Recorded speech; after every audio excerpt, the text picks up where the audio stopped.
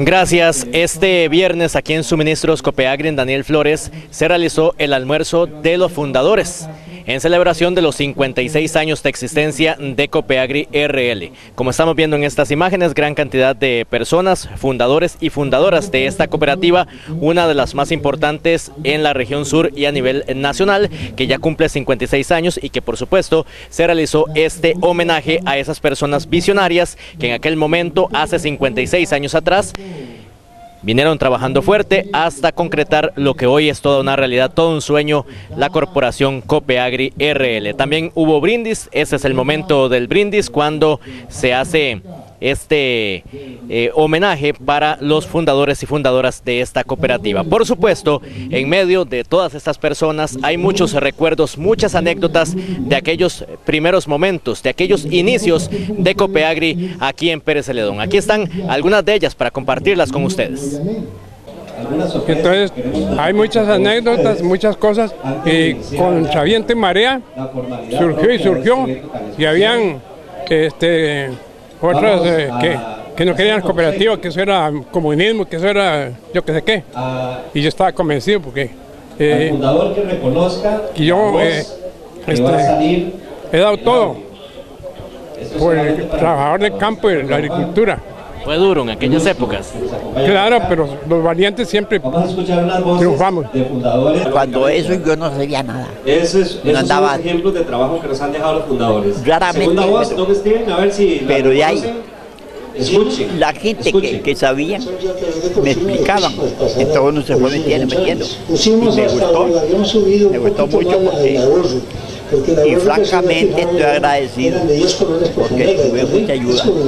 ¿Usted se imaginó que Copeagri iba a ser tan grande cuando en aquellos años? Jamás. Yo creí que, que eso terminaba, pero ahora yo me quedo viendo. Bueno, nosotros cuando iniciamos, la verdad es que eh, nosotros comenzamos con el café, ¿verdad? Porque había problemas de, de, del café, porque solamente el banco y otro comerciante había.